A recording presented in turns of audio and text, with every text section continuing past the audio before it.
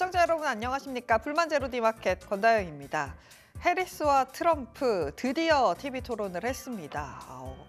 꽤나 해리스가 잘했다라는 평가를 지금 받았죠. 시장에도 그런 영향이 나타나면서 우리 시장에서도 해리스 관련된 종목들이 시세를 낸 하루였습니다. 어, 과연 사실 뭐 11월까지 뭐 얼마 남지는 않긴 했는데 이 기세를 계속 몰아갈 수 있을지 미국 대선과 관련해서 계속해서 지켜보시면 좋을 것 같습니다. 일단 이 TV 토론 이후에 시장에서도 색깔이 조금은 바뀌는 모습입니다. 달러 인덱스도 내려오고 환율적인 측면에서 움직이다 보니까 아시아 시장에서 니케이 지수가 좀 많이 밀리는 모습을 나타냈습니다. 어, 일단 달러 인덱스부터 함께 살펴보도록 하겠습니다. TV 토론 이후에 해리스가 선방을 했다라는 평가를 받았고 이에 달러가 약세로 전환이 됐습니다.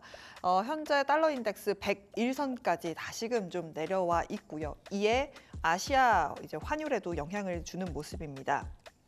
엔달러 환율이 8개월 만에 141엔까지 내려왔습니다. 여기 보이실지 모르겠습니다만 금일 변동폭의 저점이 140엔대입니다. 꽤나 좀 많이 빠지면서 아시아 통화 강세가 나타나고 있습니다. 이에 니케이 지수가 맥을 추지 못했습니다. 니케이 지수 같은 경우는 1.6%대 약세를 보이면서 마감이 됐고요. 특히나 19일에 BOJ의 통화정책 회의가 있습니다. 여기서 금리 인상이 될 수도 있겠다라는 이야기 가 나오면서 지금 니케이 또 일본 시장 쉽지 않은 흐름을 이어갈 것이라는 전망도 함께 나오고 있습니다. 중국 시장 같은 경우는 현재 상해 종합 지수 같은 경우는 0.7%대 약세를 보이고 있는데 심천 지수나 커창반 지수 같은 경우는 그래도 상승 권역에 있습니다. 왜 그런가 하고 이유를 찾아봤더니 어, 중국 내에서 신재생 에너지 자동차가 잘 팔렸다라고 합니다. 중국 내 자동차 특히나 이런 전기차 쪽에 대한 기대감이 일어나고 있고요. 반면에 많이 올랐던 뭐 은행이라든지 또 에너지 관련된 종목들이 하락을 하면서 상해 종합 지수는 상대적으로 약세를 이어가고 있습니다. 마지막으로 미국 선물지수 함께 살펴보도록 하겠습니다. 아, 우리 장중보다 지금 낙폭을 좀 줄여냈네요. 소폭입니다만 0.3%가량 하락하고 있다는 점 확인해 보시면 좋을 것 같고요. 점차 낙폭을 줄여내고 있다 보니 아마 저희 방송 끝날 때쯤에는 상승으로 돌려세울 수도 있겠다라는 생각이 듭니다. 미국 선물 시장이 낙폭을 줄여내면서 우리 시장도 그래도 생각보다는 좀 선방을 했다라고 설명을 해야 할까요? 어쨌든 지수는 2,500선, 700선을 딱 두고 계속해서 제자리 걸음을 이어가고 있습니다. 코스피가 0.4%대 약보 합권에서 2,513포인트, 코스닥도 0.4% 소폭입니다만 결국에는 700선 지켜냈습니다. 709선에서 마감 지었습니다. 수급 함께 살펴보도록 하겠습니다. 오늘 사실 코스피 거래 대금이 8조 원대인데 외국인이 1조 넘게 오늘도 팔았습니다. 어, 오늘까지 7거래일째인가요? 대형 IT주를 중심으로 특히나 삼성전자를 중심으로 팔아치우고 있는 외국인입니다. 오늘도 1조 원 넘게 팔았고요. 이걸 또 개인이 다 받아갔습니다. 9천억 원대 코스피 시장에서 매수 보여줬고요. 코스닥 시장에서 외국인이 사실 그렇게 방향성을 잡지 않았습니다. 소폭 400억 원대 매수 보였고 선물 시장에서는 2천억 원 매도하면서 거래 마감됐습니다. 시가총액 상위 종목들 보도록 하겠습니다. 삼성전자가 오늘도 쉽지 않은 흐름 보여줬죠. 2% 가까이 빠지면서 64,900원에서 마감이 됐고요. 오늘은 사실 2차 전지의 날이었습니다. LG에너지 솔루션이 5%대 급등으로 마감이 됐고 오늘 완성차 쪽도 약했고 은행주 쪽도 좀 약했습니다. 미국에서도 은행주가 빠졌고 그동안 올랐던 종목들에 대해서 차익 실현이 좀 빠르게 나오고 있습니다. KB금융이 6%대 급락하면서 마감을 지었고요. 2차 전지와 관련이 있다, 걸려 있다 하면 오늘 빨간불을 켰죠. 포스케어 홀딩스도 3%대 강세로 어, 거래 마감을 지었습니다. 삼성전자 차트 좀 열어봐야 할 것 같습니다. 오늘 또다시 신저가를 써낸 삼성전자입니다. 아, 왜 이렇게 답답한 흐름을 이어갈까요? 7거래일 연속으로 외국인과 기관이 동반으로 매도세를 이어가고 있습니다. 오늘 결국에는 뭐 64,900원에 마감을 지었고요. 87,000원까지 올랐었던 주가가 참 맥을 추지 못하고 있습니다. 특히나 2,500선을 지켜내고 있는 와중인데 계속해서 삼성전자가 신저가를 찍는다는 건 답답할 노릇입니다. 계속해서 삼성전자 같은 경우는 10월 초까지 아, 이벤트 공백이 있기 때문에 계속해서 계속해서 좋은 흐름이 나오지는 않을 것 같다라는 전망도 나와 있습니다. 잘 확인해 보시면 좋을 것 같습니다. 코스닥 시가총액 상위 보도록 할까요? 오늘 2차 전지의 날이었다라고 말씀을 드렸는데 2차 전지 관련된 종목들이 오르고 일부 바이오 종목들이 또 선별적으로 빨간불을 켜내면서 지수도 선방을 했습니다. 알테오젠이 계속해서 이 30만 원 위를 지켜냅니다. 오늘 강보합권에서 마감 지었고요. 에코프로 BM과 에코프로가 3%대, 엔캠도 함께 3%대 강세 보여줬고 HLB도 함께 빨간불 켜내면서 코스피 시장보다는 그래도 분위기가 나쁘지 않게 마감이 됐습니다. 오늘 2차 전지 또 종가도 좀 살펴봐야 할 것 같습니다. 뭐 셀업체건 소재업체건 오늘 시세가 굉장히 좋았죠. 오늘은 삼성 SDI의 날이었습니다. 10% 가까이 올라주면서 36만 6천 원 선에서 마감을 지었고요. LG 에너지 솔루션이 5%, SK 이노베이션도 함께 올라줬습니다. 오늘 특히나 이 소재 쪽이 강세를 보여줬습니다. 어, SKC 참 오랜만에 저도 차트를 열어봤습니다. 11%대 급등, SKIE 테크놀로지도 9%대, 포스코 퓨처엠, L&F, 대한유화 같은 종목들이 6%에서 8%대 강세를 보였고요. 해리스 트레이드로 묶이는 종목들이 일제히 강세를 보이면서 2차 전지에도 훈풍을 받아갔습니다. 풍력 관련된 종목들도 급등을 했습니다. CS 윈드, CS 베어링 오랜만에 좀 빨간불 강하게 켜내면서 11%, 19%대 급등. SK 오션 플랜트도 6%, 대명 에너지 같은 종목들도 함께 시세를 내줬고요. 또 ESS 관련해서는 좀 뉴스도 있었습니다. 신재생 에너지와 함께 엮이는 부분도 있고요. 어, 또 ESS의 사업성 증대가 기대된다라는 하나증권의 리포트가 나오면서 급등하는 모습이었습니다. SK 이 터닉스가 상한가였고요. 유일에너테크, HD 현대에너지솔루션 같은 종목들도 두 자릿수의 급등으로 마감을 지었습니다. 뒷코너에서 좀 더 자세하게 살펴보도록 하겠습니다. 아, 이런 와중에 LIG 넥스원 봐야 할 것 같습니다. 오늘 해리스 트레이드 관련된 종목들이 쭉 움직이는 가운데 사실 뭐 재건이라든지 방산 관련된 종목들은 혼조세 혹은 하락세를 나타냈는데 LG, 어, LIG 넥스원 같은 경우는 오늘 8%대 급등으로 마감을 지었습니다.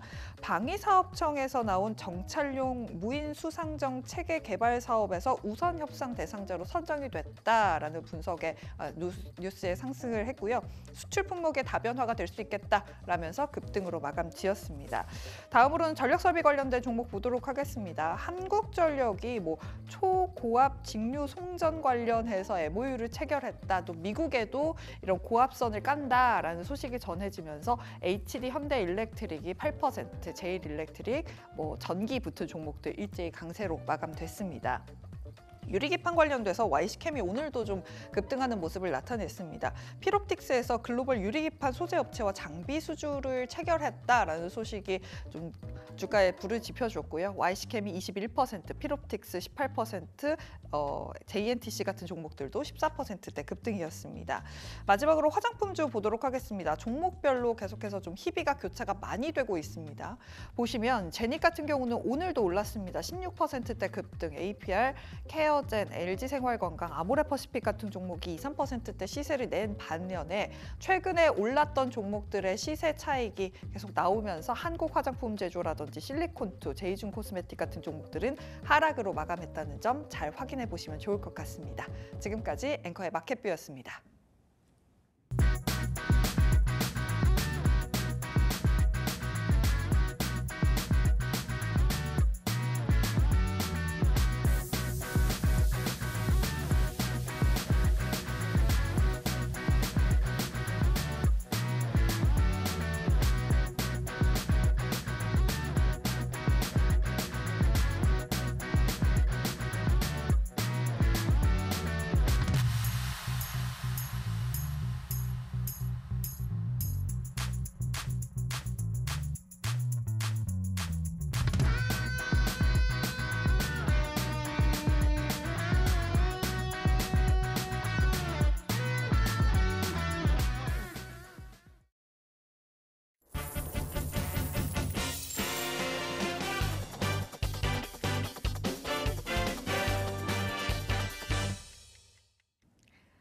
마감딜로 이어가겠습니다. 키워드부터 먼저 만나보시죠.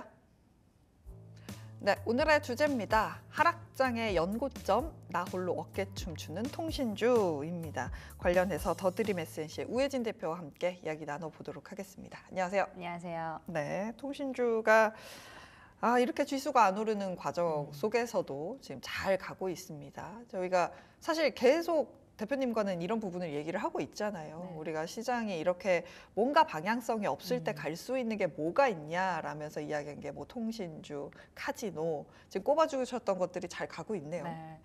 우선은 이 주식시장이 정답이 없는 건 우리 모두가 다 알고 있고 하지만 시장이 우리 마음대로 또 흘러가지는 않고 또 우리가 예상했던 것과도 반대로 흘러가고 있는 이 상황 속에서 사실은 뭐 통신주 그 이제 어디로 우리가 잠깐 피신할 수 있을까라는 부분에서 봤을 때 통신주 쪽 한번 말씀드렸고 또 여행, 항공, 카지노 이쪽도 말씀드렸는데 어, 뭐 여행, 항공, 카지노 같은 경우도 지금 시세를 많이 냈기 때문에 지금 잠시 조정 구간 하지만 그 시점이 저는 또 9월 추석 지나고 다시 한번 또 와줄 오. 거라고 좀 보여지기 때문에 여러분들 관심 종목에도 담아 놓으시면 좋을 것 같다라는 말씀 드리면서 통신주 좀 말씀을 드렸는데 SK텔레콤 같은 경우도 뭐 KT 같은 경우도 지금 뭐 LG U+도 오늘은 위아래 꼬리 위아래 꼬리를 다 달면서 오늘 조금은 그래도 어, 시세를 내지는 않았습니다. LG U+는 계속 지금 가장 통신 그 대형 3사 중에서 좀 힘을 못 내는 모습이기는 한데 그래도 SK텔레콤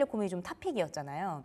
SK텔레콤 뭐 꾸준히 잘 가고 있고 이렇게 하락장으로 가는 와중에도 연 고점을 계속해서 경신해 나간다라는 점 좀 그래도 우리가 좀 찾자면 의미를 좀 찾아봐야 되지 않을까 좀 이런 생각을 하는데 네. 사실은 뭐 경기 방어주다 이렇게 이야기를 하잖아요. 네. 그런데 경, 이, 지금 상황에서 사실 통신이 경기 방어주이기 때문에 올라간다라는 것보다는 어쩌면 이것도 안 되고 저것도 안 되기 때문에 이제는 우리가 좀 호재료를 좀 찾아보자라고 해서 아 경기 방어주구나 어떻게 보면 이렇게 끼워 맞추는 부분도 있지 않을까 좀 이렇게 좀 해석을 할 수가 있을 것 같아요. 그래서 이 투자자들의 심리도 굉장히 위축되어 있는 상황이고 이제는 그 밸류업에 대한 부분들 올 초부터 계속 나오고 있지만 사실은 value up 기대감이 기대감은 있지만 우리 생각보다는 조금 미치지 못하잖아요. 네, 그렇기 때문에 이 통신주도 경기 방어의 성격을 띠고 있지만 조금은 내가 좀 쉴 공간을 찾아 나서는 투자자들이 많기 때문에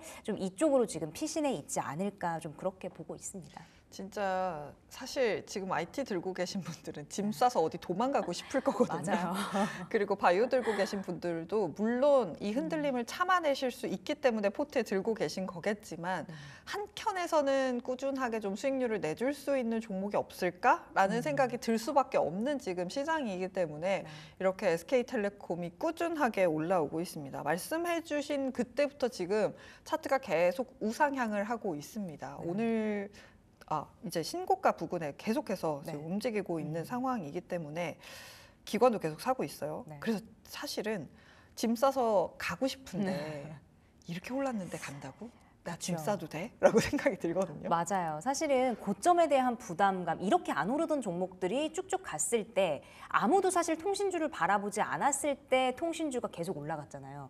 그렇다면 이제 통신주가 올라가니까 너도 나도 통신주에 뛰어드는 흐름들. 그래서 최근의 흐름들 보면은요. 이게 9월 6일이죠. 지난주에 거래량이 역대급으로 또 터지면서 윗꼬리가 달렸어요. 네. 윗꼬리가 달렸고 오늘 같은 경우도 그때만큼의 거래량은 아니지만 어찌됐든 거래량을 준 다음 에 윗꼬리가 달렸습니다. 자, 윗꼬리가 달린다는 것들은 이제 우리가 매매 관점에서 봤을 때 좀 매도세가 강하게 나왔다 이렇게 좀 여러분들이 해석을 하실 수가 있겠죠. 그렇기 때문에 이제 내일이 목요일, 목요일이 또 이 꼬리 부분을 채워서 한번 올라갔다 빠질지 아니면 정말 우리가 피신할 곳이 없기 때문에 이쪽으로서의 피신처를 찾아서 윗꼬 꼬리 부분을 채우고 다시 한번 시세를 내줄 것인지 사실 그 부분은 우리가 좀 보수적으로 바라봐야 되는 부분이다 이렇게 좀 말씀을 드릴 수가 있겠습니다. 왜냐하면은 그 지난번에도 말씀을 드렸지만 통신주 같은 경우는 이제 단순히 우리가 전화, 휴대전화의 그런 어, 통신 기지국에 대한 그런 문제, 뭐 무선 인터넷에 대한 그런 부분을 뛰어넘어서 이제 뭐 SK텔레콤은 그렇죠 자칭 우리는 글로벌 AI 컴퍼니다 이렇게 이야기하는 것처럼 네. 뭐 AI부터 시작해서 이제는 뭐 자율주행도 통신이 필요합니다. 그리고 이제 어떤 게 나오나요? 드론. 드론에 더해서 드론 택시가 또 나오죠.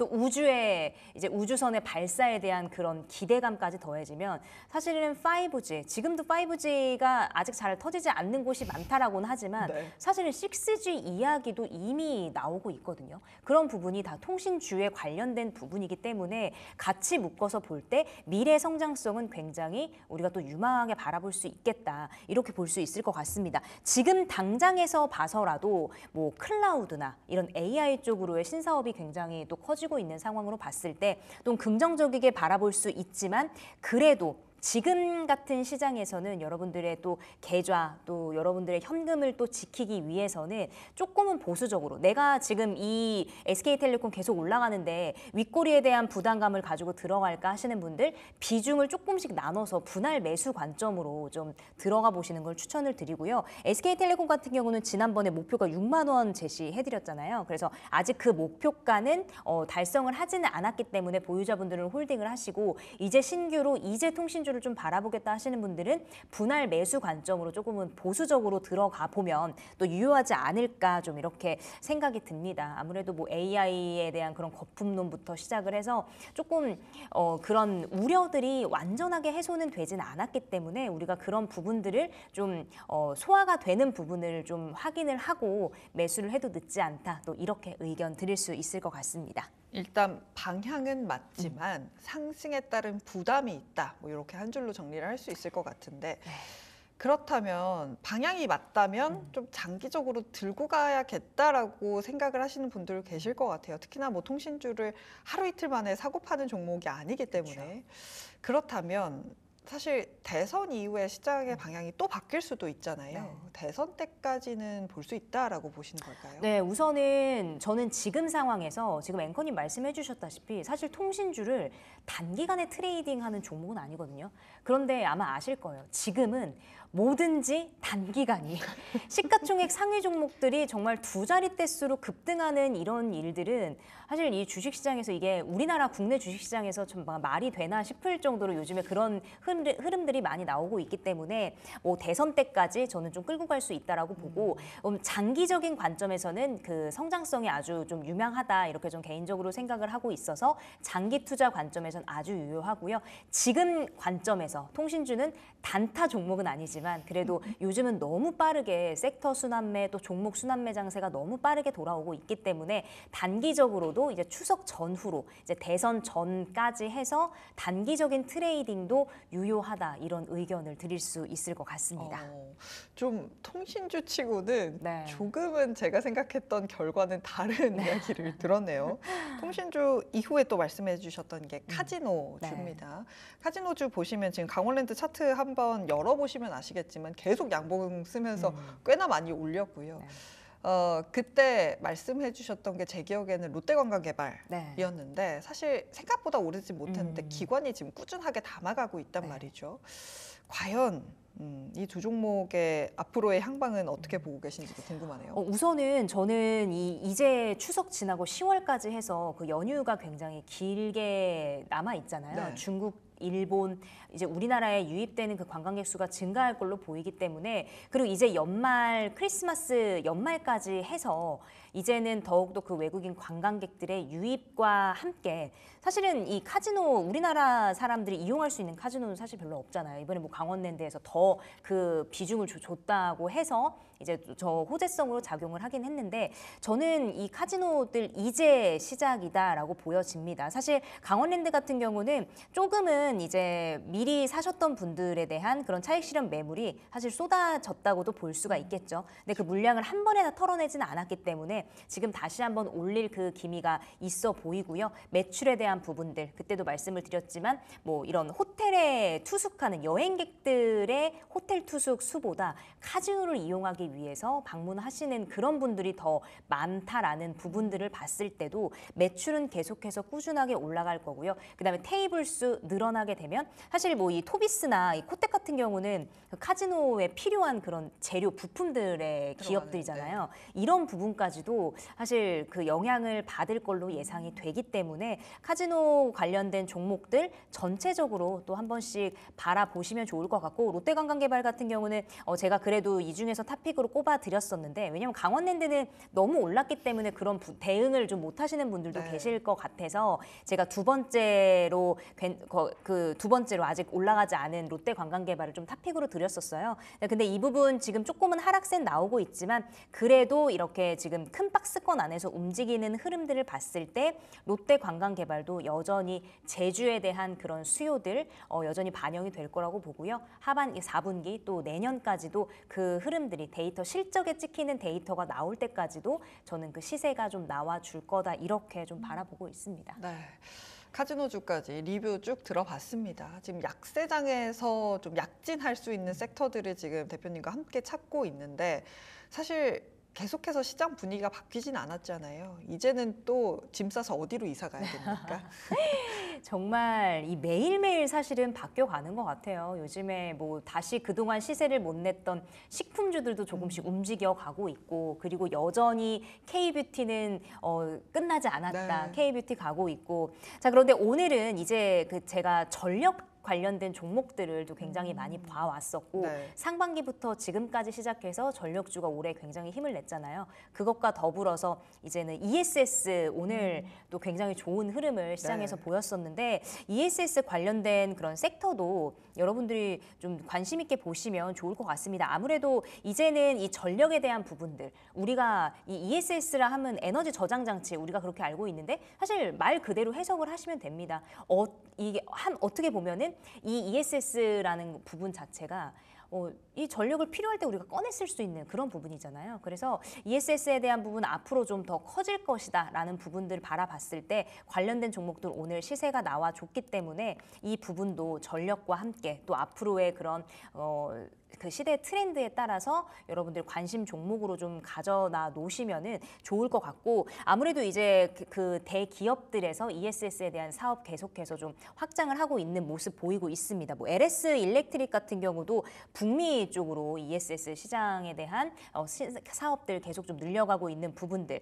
이제는 뭐 한화나 SK 같은 경우는 뭐 불타지 않는 ESS를 처음으로 개발했다. 이제 그 우리가 여러 배터리에 대한 부분들, 화재나 뭐 여러 가지 에너지 그 저장해 해놓은 에너지들을 좀 쓸 수 있을 부분에 대해서 언제든지 좀 꺼내 써야 되는데 이 부분에 있어서 화재가 굉장히 또 요즘에 화두로 떠오르고 있기 때문에 이런 새로운 그런 것들을 개발하는 것들이 이제 아주 시장에서는 호재료로 사용이 되기 때문에 여러분들 이런 기사 뭐 여러 가지 재료들도 어, 한 번씩 좀 체크를 해 보시면 좋을 것 같습니다.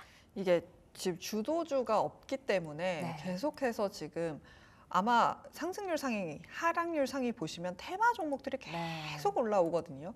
그런데 우리가 주목해야 될 건 어쨌든 이런 시장 상황이 지속이 될 거라면 음. 계속 갈 수 있는 테마를 우리는 골라야 되잖아요. 네. 어, 새로운 테마에 대해서 관심이 있고 오늘 또 처음으로 불이 붙은 게 ESS이기 네. 때문에 불이 붙었다는 표현이 ESS 좋진 않을 것 같습니다만 시세를 내기 시작한 게 ESS이기 때문에 말씀을 해주신 것 같습니다. 아 근데 저는 절 ESS가 더 갈 것 같기는 한데 너무 빠르게 시세를 낸게 네. 아닌가, 너무 음. 좀 올려붙인 게 아닌가, 자금이 진짜 갈 데가 없네 라는 음. 생각이 들거든요. 이렇게 빨리 올려붙이면 빨리 빠지잖아요. 네, 맞습니다. 우리 앵커님 얘기, 이야기 말씀해 주신 것들 제가 이제 들으면서 또, 아, 이 말씀을 꼭 드려야겠다라고 생각했던 부분이 제가 9월 9월 달 들어서 투자 전략으로 좀 세워놓은 부분이 이게 우리가 투자는 투자라는 거는 이제 꾸준하게 투자를 해서 우리가 돈이 들어가는 거잖아요. 돈을 들여서 투자를 하면 꾸준하게 성장을 해서 어, 얘를 찾았을 때 아, 수익률이 나 얼만큼 나서 보통 이렇게 하는 게 투자라는 부분인데 지금 주도주가 부재하고 너무나 테마성이 강하고 사실 미국 대선 뭐 오늘도 토론을 했지만 뭐 그런 지지율에 따라서 매일매일 상황이 바뀌어가는 시장 속에서 저는 9월 달 투자 전략을 좀 단기적으로 빠르게 트레이딩을 해라 이렇게 좀 세웠습니다. 그래서 말씀해 주신 것처럼 사실은 너무 빨리 불타오른 것들 사실 빠질 수 있거든요. 하지만 관심을 받았고 주도주가 부재한 부분에 있어서 이 뭐 ESS든 어떤 뭐 여행이든 다른 화장품이든 이런 부분들이 채워졌을 때 사실 기술적으로도 반등 구간이라는 게 분명히 존재한다라는 거죠. 그렇기 때문에 ESS 지금 당장에 무언가 이들이 실적을 낼 수 없습니다. 뭔가 우리한테 결과를 갖다 줄 수 없지만 이 주식에 대한 그런 기대감 요즘은 너무나 선반영이 되는 부분으로 봤을 때. 네, 맞습니다. 지금 시장이 빠진다고 매매 쉬세요. 또 방송에 나와서 이렇게 말씀을 드릴 수가 없기 때문에 여러분들이 수익 낼 수 있는 구조들을 좀 만들어 드려야 되잖아요. 그래서 저는 9월 달에 좀 빠르게 trading 할 수 있는 전략을 좀 가져가자라고 말씀을 드리면서 오늘 또 ESS 우리가 불타 올랐기 때문에 SK 이터닉스 같은 경우는 상한가를 갔지만 네. 다른 그 종목들도 지금 급등 흐름으로 마감을 했거든요. 그래서 아직 올라가지 않은 그런 종목군들도 이제 이슈가 조금 더 추석 전까지 사실 크게 재료가 없습니다. 맞습니다. 네, 그래서 그때까지도 지켜보시면 좋을 것 같습니다. 아무래도 요즘에 테마가 죽지 않고 계속 가기 때문에 네. 좀 지켜보실 필요가 있어 보이는데 그렇다면 그 중에 탑픽 종목은 어떤 걸까요? 와, 제가 오늘 탑픽을요. 네. SK 이터닉스를 가지고 아이고. 왔어요. 그래서 이제 저 오늘 탑픽이 뭡니다라고 넘기고 이제 방송을 시작하려고 하는데 이제 상한가에 진입을 했잖아요.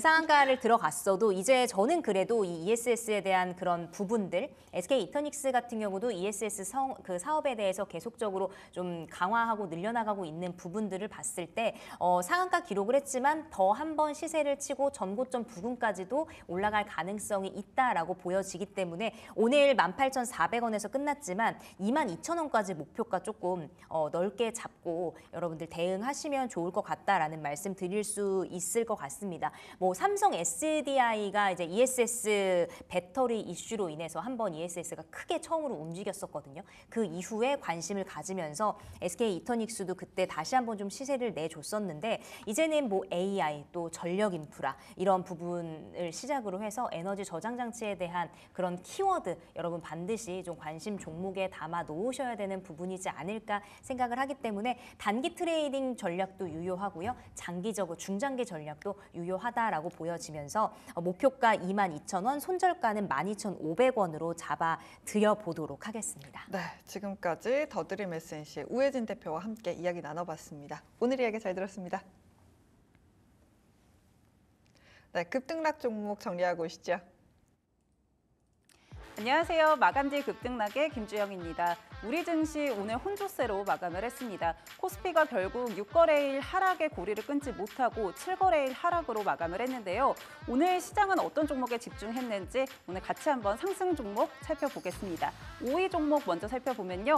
SDN 확인됩니다. 오늘 진행됐던 미국 대선 토론 어, 관련해서 해리스 그리고 트럼프 이 후보들의 말 한마디에 시- 종목의 등락이 좀 이어졌습니다. 하지만 시장은 우선은 해리스가 우위에 있다라고 판단을 한 것 같은데요. 오늘 태양광부터 풍력, 이 신재생 에너지 관련한 종목에 매수세가 강하게 들어왔습니다. CS 윈드부터 CS 베어링, 한화솔루션 강세로 마감을 했고요. SDN 같은 경우는 19%대 20% 가까운 강세로 보이면서 마감했던 모습 확인되고 있습니다. 4위 살펴보겠습니다. 4위는 YC캠 확인됩니다. 유리기판 관련한 기대감 계속 반영이 되면서 어제에 이어서 오늘도 매수세가 들어왔습니다. 어, 현대차 증권 측에서 포토 레지스터 소재 고객사 양산 평가까지 통과가 됐고 이제 본격적인 양산 공급 시작이 예상된다라는 소식에 기대감 자극을 했고요. 25년 개화하는 이 글라스 기판 시장에서 수혜 입을 것이다라는 전망들 역시나 매수세 자극하면서 오늘 21%대 급등하면서 마감했던 모습 확인되고 있습니다. 3위도 살펴보겠습니다. 3위는 셀바스 헬스케어 올라왔습니다. 역시나 해리스 공략 중 하나죠. 이 메디케어 관련한 종목으로 셀바스 헬스케어 오늘 부각이 됐는데요. 오늘 상한가 기록하면서 마감이 됐고요. 이 밖에 의료 AI 관련주들, 뭐 딥노이드 같은 종목들도 오늘 강세 흐름 보이면서 마감했습니다. 2위도 살펴보겠습니다. 2위는 SK 이터닉스 올라왔습니다. 앞서서 정리해 주시기도 했는데요. 오늘 하나증권 리포트가 나오면서 주가 상승을 견인을 했습니다. SK 이터닉스 앞서 인적 분할을 하면서 상반기 매출 같은 경우 181억 원이 잡혔었는데 3분기부터는 본격적인 매출 인직, 인식이 될 것이고 그러면서 실적 개선이 될 것이다라는 전망대 나오면서 오늘 기대가 작용을 했고요. 특히 ESS 관련해서 한국뿐만이 아니라 미국 시장에도 진출했던 모습들 긍정적으로 바라보면서 오늘 매수세에 강하게 들 어왔습니다. 상한가 기록하면서 마감했습니다. 1위 살펴보겠습니다. 1위는 하이트론 올라왔습니다. 표적 항암제 이 신약 물질 개발한다라는 소식에 계속해서 기대감이 붙는 모습이었죠. 3거래일 연속 상한가 기록을 하면서 오늘도 마감을 했습니다. 상한가 도달을 했고요. 역시나 이 기대감들 계속해서 반영이 되는지 한번 체크해 보시는 게 좋을 것 같습니다. 그렇다면 오늘 하락했던 종목들 어떤 것들인지 같이 살펴보겠습니다. 5위 종목 살펴보면요. 5위는 KB금융 올라왔습니다. 간밤에 뉴욕 증시에서 은행주들의 하락이 눈에 띄었습니다. 미국 경기 둔화될 것이다. 그러면서 금융회사들 실적 악화될 것이다 라는 전망대 나오면서 금융 관련주들 하락하는 모습을 보였는데요. 역시나 국내 증시 역시 금융주들 오늘 빠지는 모습 보였습니다. KB금융 6% 하락으로 마감을 했고요. 이 밖에 신한지주, 하나금융지주 등도 6%대 하락 보이면서 마감했습니다. 4위 살펴보겠습니다. 4위는 콥콤 확인되는데요. 전일장 드론 테마 굉장히 강했죠. 미국 하원에서 이 중국 드론 제조 기업인 DJI 어, 신규 제품 미국 내에서 사용 금지한다라는 법안들 나오면서 국내 드론주들 수요 있는 것 아니냐라는 기대감에 매수세가 들어왔습니다. 다만 오늘 같은 경우 차익 실현 매물 나오면서 10% 넘게 밀렸고요. 어제 상한가 기록했던 제이시언 시스템이나 네온테크 종목들도 일제히 하락으로 마감했습니다. 3위도 살펴보겠습니다. 3위는 오성첨단 소재 확인되고 있습니다. 오늘 이 대선 TV 토론 앞두고 어, 대선 테마주들 굉장히 급등 흐름을 이어갔었는데요. 특히나 오후장에서 시상, 시세가 났던 부분이 마리화나 관련주들이었습니다. 어, 트럼프 전 대통령이 21세 이상 성인 이 기호용 대마 사용하는 거에 찬성한다라고 이야기 내, 나오면서 관련주들의 매수세를 이끌었는데요. 오늘 같은 경우 차익 실현 매물 나왔던 모습이고요. 오성첨단 소재 10% 넘게 밀리면서 마감했습니다. 2위 살펴보겠습니다. 2위는 SY 스틸텍 올라왔습니다. 앞서서 해리스가 우위를 점했다라고 시장은 보고 있다라고 정리를 해드렸었는데 뭐 해리스 호감도가 올라갔다, 해리스의 판정승이다 이런 이야기들도 나오고 있죠. 그만큼 트럼프 관련주들은 오늘 약세 흐름 이어졌습니다. 재건주부터 대북주들 일제히 하락으로 마감을 했고요. SY 스틸텍 같은 경우 17% 넘게 밀리면서 마감했습니다. 1위도 살펴보겠습니다. 1위는 하이소닉 올라왔습니다. 오늘 유상증자 결정 공시에 영향 받아가면서 급락 흐름이 나왔는데요. 규모 같은 경우는 229억 원 정도에 해당이 되고요. 그러면서 주가 끌어내렸던 모습입니다. 17%대 넘게 하락하면서 마감했습니다. 오늘장 특징주들 정리해드렸고요. 이어지는 장외 시간도 불만제로 디마켓과 함께 전략들 챙겨가시죠.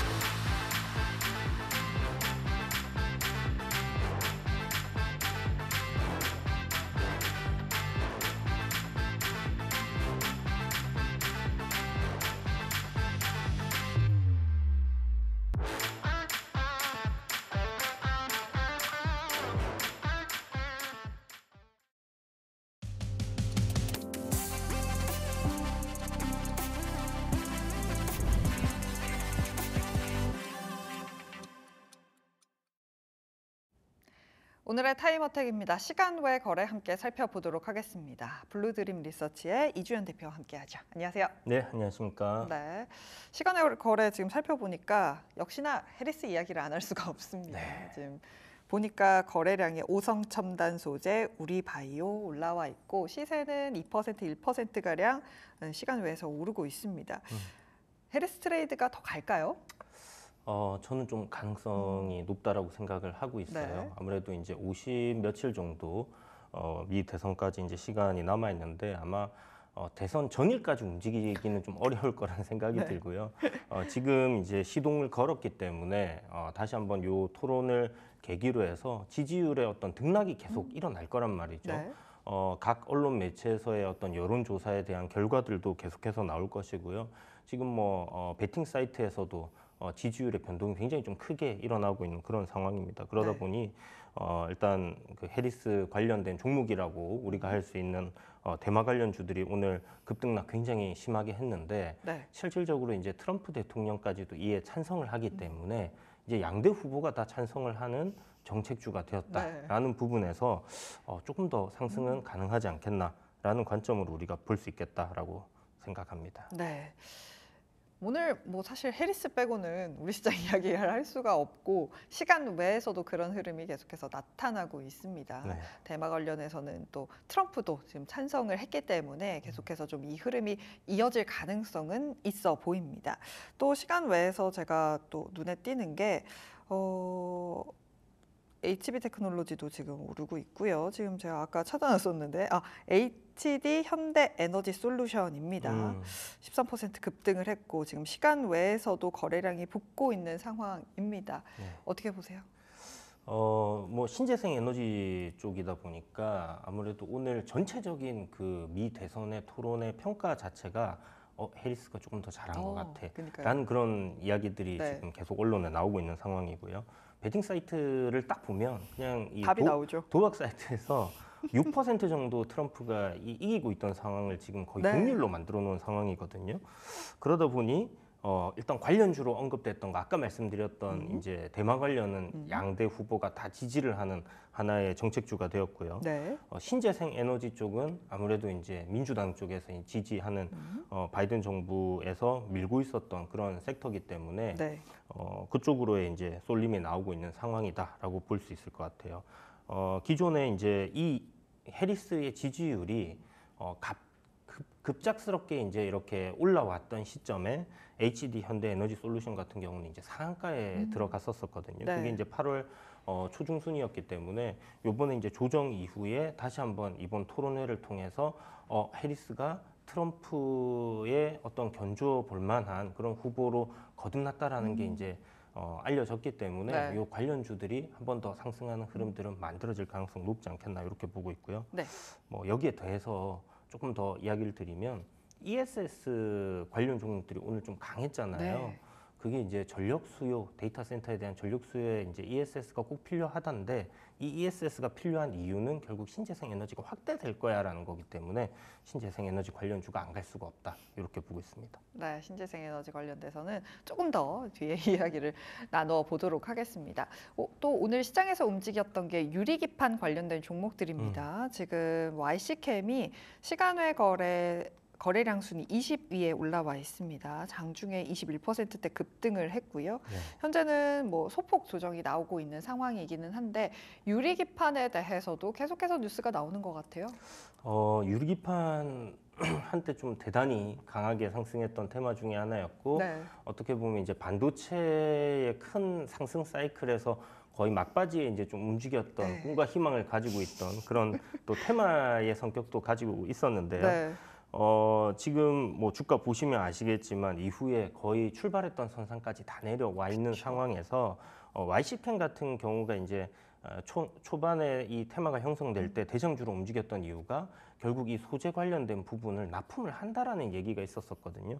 그게 이제 어, 현실적으로 이렇게 다가오는 그런 시점으로 가고 있다라는 부분에서 어, 한번 시세가 크게 나왔다라고 볼 수 있겠고 좀 전에 이야기 드렸던 데이터 센터로 인한 전력의 수요가 증가한다. 네. 이 부분에 어, 우리가 초점을 좀 맞춰서 생각을 한다라면 결국은 유리기판을 이제 이 빅테크들이 도입하려고 하는 이유 자체가 고정비를 절감하기 위한 부분이거든요. 데이터 센터에 들어가는 어, 열이 너무 소모가 많다. 아니면 뭐 이제 이, 이 전력량을 갖다 절반으로 줄일 수 있다. 이런 부분 때문에 유리기판을 이제 도입하고 싶어 하는 부분이고 어, 그런 관점에서 결국 어, 기판 쪽은 저는 이제 궁극적으로 이렇게 어, 유리기판 쪽으로 계속해서 변화해 갈 가능성이 높다라는 점에서 장기적으로 우리가 조금 계속 팔로우업을 해야 되는 어, 그런 테마지 않겠나. 그리고 뭐 실질적으로 이제 납품이 이루어지고 어느 정도의 이익단이 증가하는가 이런 부분들도 살펴보면서 투자의 관점으로 지켜볼 만은 하다 이렇게 생각하고 있습니다. 필옵틱스에서 실제로 이제 뭐 수주 계약을 따냈다라는 소식과 함께 네. 이 섹터 자체가 좀 많이 올라왔습니다. 말씀해 주신 대로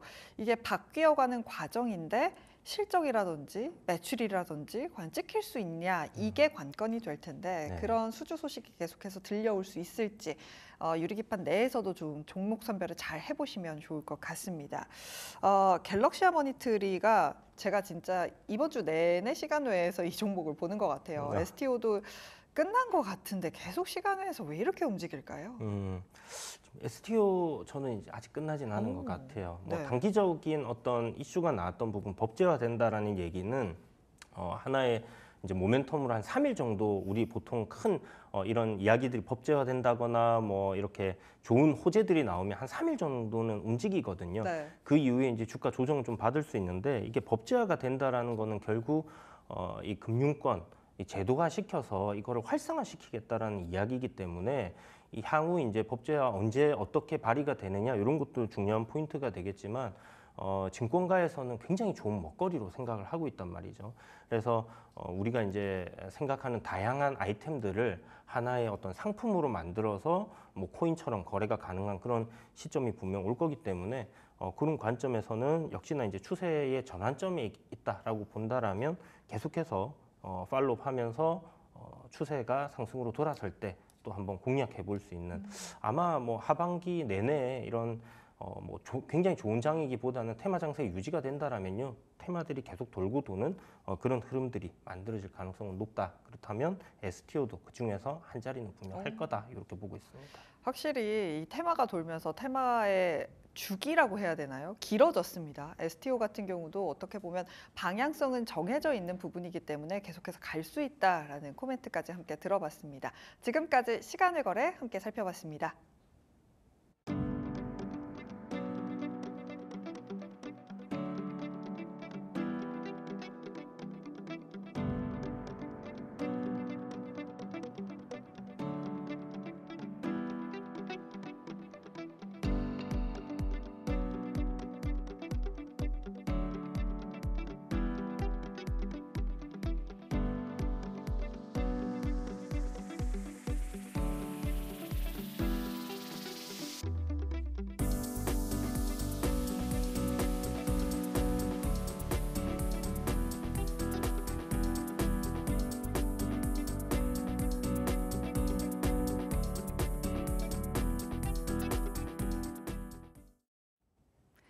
앵커의 산책입니다. 요즘 참 주도주가 없는 시장이죠.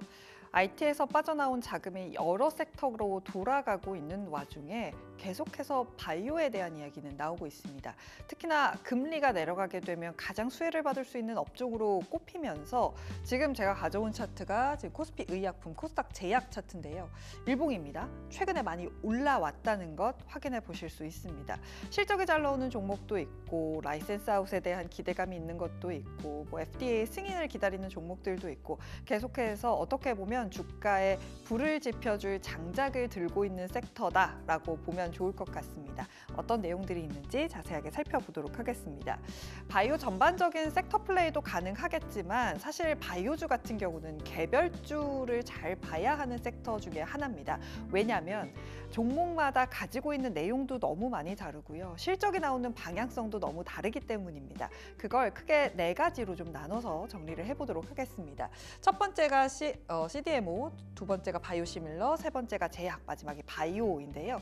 삼성 증권에서는 이 네 개를 나누고 탑픽 종목들을 쭉 정리를 해놨습니다. 보시면 CDMO 같은 경우는 삼성바이오로직스와 에스티판, 어, 세- 바이오시밀러 같은 경우는 셀트리온, 또 제약 쪽에서는 SK바이오팜, 녹십자, 유한양행, 또 바이오 쪽에서는 리가켄바이오, 알테오젠, GI 이노베이션 같은 종목들을 봐야 한다라고 하는데요. 지금 확인해 본 이 네 가지 순서대로 함께 확인해 보도록 하겠습니다.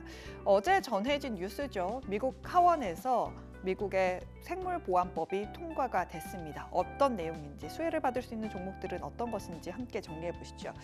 일단 정리를 해보자면 결국에는 뭐 중국에 있는 업체들, 중국 업체들을 제한하겠다라는 겁니다. 특히나 A그룹 특정 기업에 들어가 있는 곳과는 뭐 계약도 지금 못하게 된 상황인데요. 여기 들어가 있는 게 우시앱텍, 또 우시바이오 같은 어, 회사들이 들어 있습니다. 이 회사들이 사실 CDMO 시장에서 차지하고 있는 비중이 적지 않기 때문에 우리나라 업체들에게는 좀 수혜가 될 수 있다라는 이야기가 전해졌고 주가에서도 그런 흐름들이 나타났죠. 국내 CDMO 상장 기업들 정리해 보시면 삼성바이오로직스, 에스티팜, 바이넥스, 에이프로젠 바이오로직스, 프레스티지 바이오로직스 이런 종목들이 있습니다. 특히나 삼성바이오로직스 같은 경우는 황제주가 되느냐 마느냐 기로에 있는데요. 과연 CDMO 시장에서 얼마나 더 점유율을 가져갈 수 있을지 지켜보시면 좋을 것 같습니다. 두 번째로는 바이오시밀러 보도록 하겠습니다. 바이오시밀러에서는 역시나 셀트리온을 보고 있었습니다. 짐펜트라에 대한 기대감이 얼마나 반영되느냐에 따라서 과연 주가의 향방도 결정될 것이다라는 게 삼성증권의 어, 의견이었는데요. 자세하게 살펴보시면 하반기 짐펜트라의 미국 처방 실적이 잘 나와야 한다라는 겁니다. 지금 실적 추이나 전망을 보시면 올해 바닥을 찍고 조금 올라오는 모습이 나타나고 있습니다. 왜 그런고 함께 살펴보시면 짐펜트라 같은 경우는 이제 3대 처방약 급여 관리 업체의 선호 의약품으로 이제 선정이 됐습니다. 그렇기 때문에 3분기부터 환급이 시작되면서 4분기에 처방이 본격화될 것이고 그렇기 때문에 컨센서스가 내년부터 좀 올라가고 있습니다. 사실 처방이 얼마나 될지 매출이 얼마나 나올지는 솔직히 확인을 해봐야 하는 부분이지만 그래도 지금 하고 있는 방향성을 보자니 그렇게 나쁠 것 같지는 않다라는 게 시장의 지배적인 상황입니다만 어쨌든 3분기, 4분기 실적은 확인해 봐야겠죠. 다음으로는 제약 보도록 하겠습니다. 국내 제약사들 보시면 유한양행이라든지 녹십자, 뭐 SK 바이오팜 같은 종목들의 매출액 추이와 전망을 정리해봤습니다. 색깔이 짙어질수록 24년, 25년으로 가게 되는데 꾸준히 대부분 성장하고 있다는 것 확인해 보실 수 있습니다. 단기간 실적 성장에 대한 기대감으로 사실 upside가 많이 열려 있는 건 아니지만 장기적인 실적을 봤을 때 특히나 SK 바이오팜 같은 경우는 내년 실적에 대한 기대감이 굉장히 높습니다. 영업이익이 크게 늘 것이다라는 기대감이 있기 때문에 꾸준하게 살펴볼 수 있는 부분이 충분히 남아 있다라고 보고 있었고요. 마지막으로 바이오 쪽 보도록 하겠습니다. 여기서 어떤 이야기를 했냐면 주가가 오른 종목은 다 이유가 있다라면서 종목별로 좀 정리를 해놨습니다. 보시면 알테오젠, 리가캠바이오, ABL바이오, 보르노이, 퓨처캠 같은 종목들인데요. 어, 뭐 많이들 아실 것 같습니다. 알테오젠 같은 경우는 히알루론산 분해 효소로 그러니까 정맥 주사를 피하 주사로 바꾸는 기술을 갖고 있는데요. 이에 대해서 얼마나 더 활용할 수 있을지에 대한 이야기 계속해서 나오고 있고요. 리가캠바이오 같은 경우는 ADC 기술에 대한 안정성을 인정을 많이 받고 있고 ABL 바이오 같은 경우도 이중항체 또 이중항체와 ADC를 함께 쓰는 기술을 가지고 있습니다. 보르노이 같은 경우는 뇌혈관 장벽 통과를 잘하는 항암제를 개발하고 있는 종목이고요. 퓨처캠 같은 경우는 전립선암 치료제 국내 임상 이상 결과 발표를 기다리고 있는 상황입니다. 과연 뉴스들이 어떻게 나올지 잘 확인해 보셔야 할 것 같은데요. 그런 의미에서 일정들도 함께 정리해 보도록 하겠습니다. 어제부터였죠. 유럽 당뇨학회가 열리고 있고요. 또 13일부터 17일까지 바르셀로나에서 종양학회가 열립니다. 여기서 루닉 같은 종목들, HLB 같은 종목들이 내용을 발표한다라고 하는데 어떤 내용을 발표할지 잘 지켜보시면 좋을 것 같습니다. 또 20일은 HLB의 리보세라니 FDA 재신청 마감일입니다. 과연 이 전에 재신청을 할지 어쩔지 좀 지켜보셔야 할 것 같고요. 23일에는 유한양행의 FDA 승인 기념 발표 어, 설명회가 있고 또 퓨처캠의 임상 이상 발표가 있습니다. 또 9월 중에는 에스바이오메딕스의 파킨슨 추가 임상 결과가 발표가 되는데요. 이렇게 임상 일정들 잘 확인해 보시면서 종목도 선정해 보시고 투자 전략도 잘 짜보시면 좋을 것 같습니다. 지금까지 바이오주 정 리해봤습니다.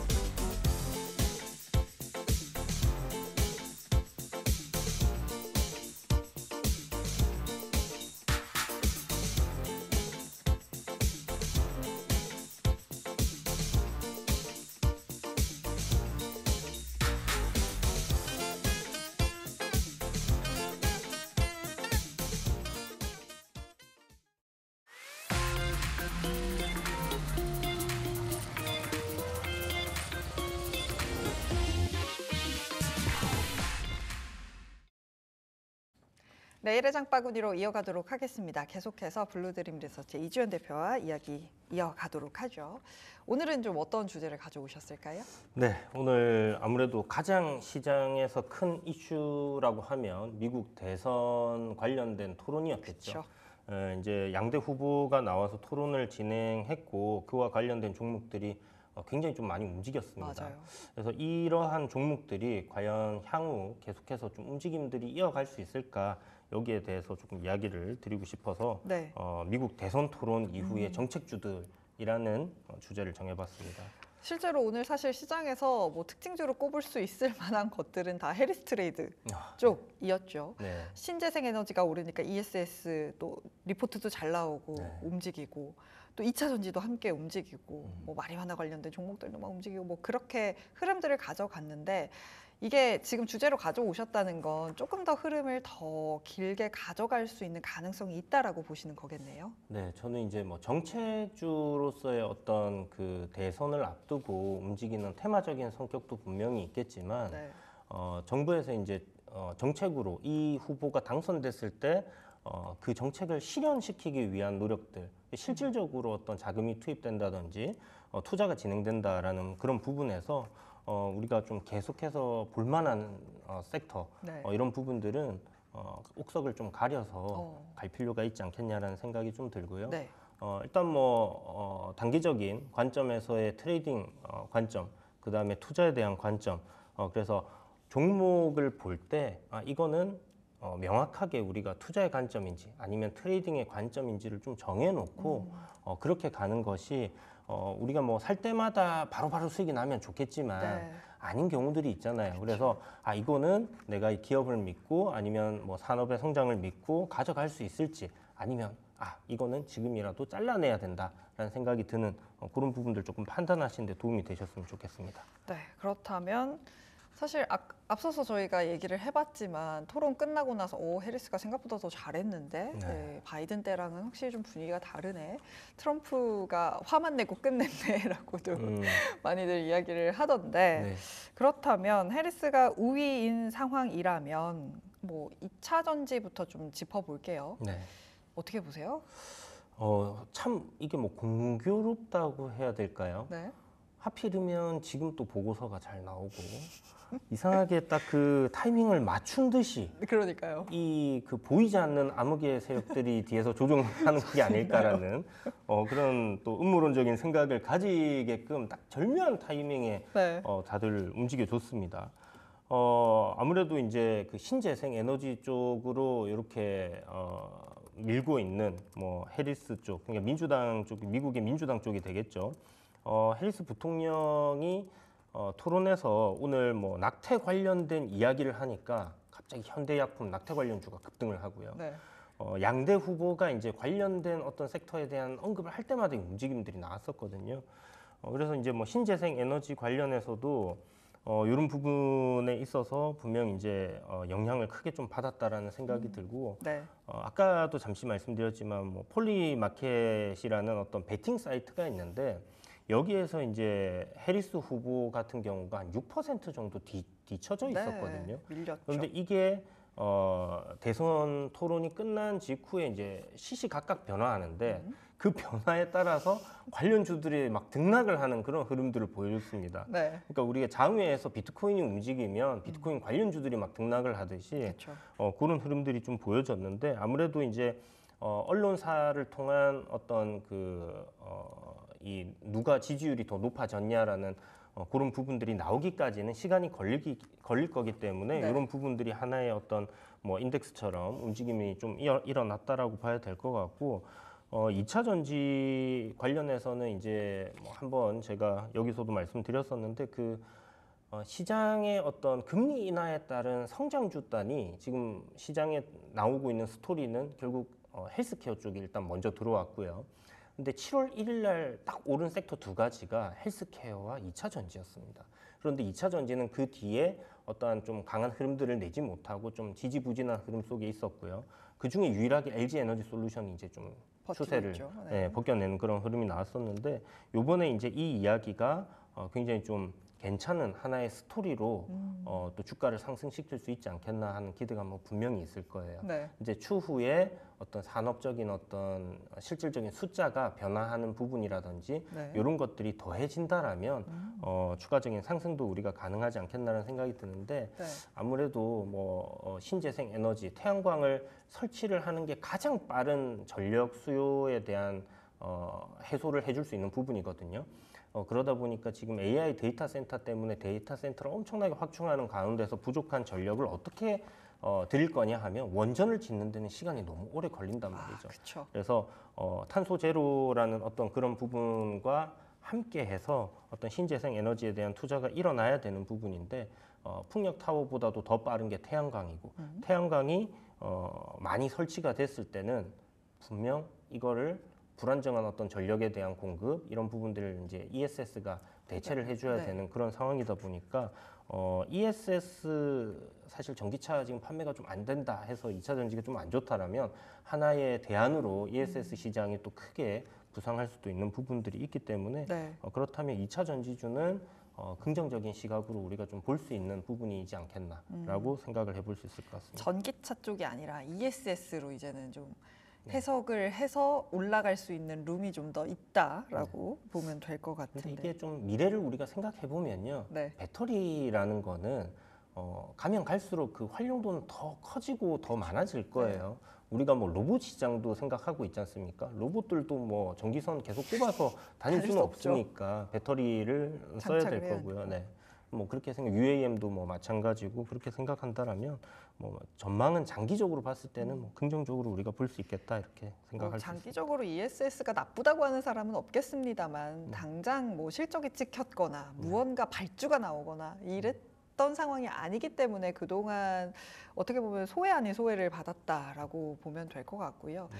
어, 또 이 M7들이 데이터 센터를 돌리면서 이야기를 하는 게 RE백이라고 해서 이 음. 데이터 센터를 돌리는 전력 자체를 다 친환경으로 이제는 그렇죠. 가는 게 목표다라고 네. 하다 보니 이제 친환경 관련된 종목들도 조금 움직였던 것 같아요. 음. 그 과정에서 ESS가 가장 지금 주목을 많이 받은 거고. 네. 그럼 친환경 따는 좀 어떻게 보세요? 신재생 에너지. 어, 신재생 에너지도 주가가 이제 굉장히 좀 오랜 기간 힘들었어요. 네. 그래서 지금 바닥권에서 이제 움직임들이 막 나오고 있는 그런 상황인데 어, 밸류적으로도 어, 상당히 좀 괜찮은 흐름 속에 있다라고 볼 수 있을 것 같고요. 네. 대표적인 게 지금 현재 실적이 나오고 있는 종목을 보자면 CS 윈드 같은 어, 종목 같은 경우는 실적이 굉장히 잘 나오고 있고 어, 뭐 내년 실적이나 내후년 실적을 생각해 본다면 충분히 추가적으로 어, 큰 상승도 우리가 좀 예상을 할 수 있는 그런 상황이고요. 나머지 이제 태양광 쪽은 원체 이제 중국발 그 어, 단가가 낮은 어, 패널들의 물량 공세로 인해 가지고 한동안 어려움을 겪었는데 미국 같은 경우는 어, 관세를 좀 크게 부과한다라는 얘기가 있었고 또 동남아시아의 다른 국가들을 이렇게 우회해서 수, 수출을 하던 물량들이 있었는데 그것까지 이제 막겠다라는 얘기가 네. 한번 나왔었죠. 그래서 신재생 에너지 그때 이제 한번 어, 흐름들이 만들어졌는데 결국은 아까 말씀하신 것처럼 어, 신재생 에너지를 사용해서 데이터 센터를 돌려야 그 ESG라고 하잖아요. 기업의 이제 그런 부분들, 어, 탄소 배출권 관련된 부분들 이런 것들에서도 이제 혜택을 받을 수 있고 지금 이제 데이터 센터를 짓겠다 하면 미국 정부에서 야 우리 전력 너희가 알아서 해. 그 전력을 어떻게 수급할 건지에 대한 대책을 가져와.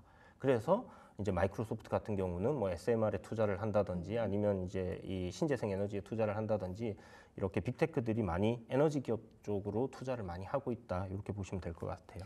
네, 에너지 관련해서 풍력 관련해서는 사실 뭐 CS 윈드를 가장 많이 이야기를 합니다. 네. 하지만 어, 어떻게 보면 태양광 쪽은 조금 상대적으로 보수적인 의견이 많았던 것 같은데 음. 대표님도 동의하시나요?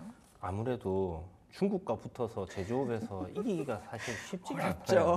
네, 패널 값이 원체 싸다 보니까 뭐 집에 어떤 그 경계선이라고 할 수 있는 이 울타리 자체를 태양광 패널로 다 둘러버린 뭐 그런 짤도 돌고 네. 했었는데 어 이제 중국산에 대한 부분들 사실 기술력에서도 중국을 앞서가고 있는 그런 상황들은 아니거든요. 네. 어, 그렇지만 이제 요번에 이제 그 하나 솔루션에서 뭐 착공되는 어떤 그 공장이라든지 뭐 3다, 어, 3세대 공장인데 이런 부분에서 이제 진행 생산되는 부분들이나 어, 아니면 이제 요런 그 차세대 어떤 제조업에 대한 공장을 지었을 때 미국에서 또 세, 세금 혜택을 주는 부분들이 있잖아요. 어, 그런 것들에 대한 세제 혜택이라든지 어, 정부에서 미국을 때리는 관세라든지 이런 부분으로 인한 어떤 어, 성장성, 어떤 수익성은 어느 정도 확보가 될 거다라고 보여지고 있고 네. 그런 부분에서 이제 태양광 기업들도 올해까지는 적자지만 4분기부터는 이제 흑자로 턴어라운드하는 기업들이 꽤 있어요. 네. 그래서 어, 요 안에서 우리가 잘 살펴본다라고 하면 분명 투자로 해서 투자를 통해서 수익을 낼 수 있는 기업들은 분명히 있을 거다 이렇게 보고 있습니다. 그럼 탑픽은 태양광 안에서 찾으면 될까요? 어디로 보고 계실까요? 네, 일단 뭐 CS 윈드도 괜찮은 기업인 네. 것 같은데 원체 이야기들을 많이 하시는 것 같고요. 맞아요. 그리고 지금 당장 우리가 좀 어, 투자하기에는 약간 손익비단의 어, 해결돼야 예, 하는. 문제가 시세가 네. 이제 올라와 있기 때문에 그래서 저는 하나솔루션이라는 종목이 지금 어떤 가격단이 쌍바닥을 만들고 이제 올라오고 있기 때문에 네. 손절을 생각하면 한 10% 정도의 손절을 잡고 갈 수 있는 뭐 그런 자리에 있다라고 생각이 들고요. 어, 만약에 여기서 이제 상승이 나온다라면 대략 한 40% 정도의 upside가 예상이 되는 어, 그런 어, 위치에 있기 때문에 주가적인 관점에서 봤을 때 굉장히 괜찮다라는 생각이랑 좀 전에 말씀드렸던 그런 내용들 네. 어, 그리고 이제 실질적인 실적의 turnaround가 이루어질 텐데 이게 어, 내년 내후년 하면 한 8천억 정도의 영업이익을 예상을 하고 있어요. 그러면 지금 현재 시총이 4조 2천억, 4조 3천억 정도 되니까 어, 뭐 한 50% 정도 upside가 있다 이렇게 보셔도 좋을 것 같고요. 어, 뭐 한 시총 한 8조까지는 어, 상승 흐름들. 그러니까 이런 스토리들이 계속 붙어줘야 되겠죠. 그렇죠. 그래서 이제 실적을 좀 분기별로 체크하시면서 이번 4분기부터 흑자 전환할 거니까 어, 그렇다면 주가는 항상 6개월 정도 선반영한다. 지금부터 좀 상승할 가능성은 열어놓고 보는 게 좋겠다라는 생각이 듭니다. 아무래도 이 태양광 내에서는 실적이 진짜 나오냐 안 나오냐가 굉장히 주가에 영향을 많이 미칠 수 있는 부분이기 때문에 음. turnaround가 가능한 한화 솔루션 말씀해 주셨습니다. 지금까지 블루드림 리서치의 이주연 대표와 함께했습니다. 고맙습니다. 네, 감사합니다. 네, 시장에서 주목해볼 일정들 정리해드리는 시간이죠. 장바구니 일정 열어보겠습니다. 첫 번째 일정 확인해 보면요.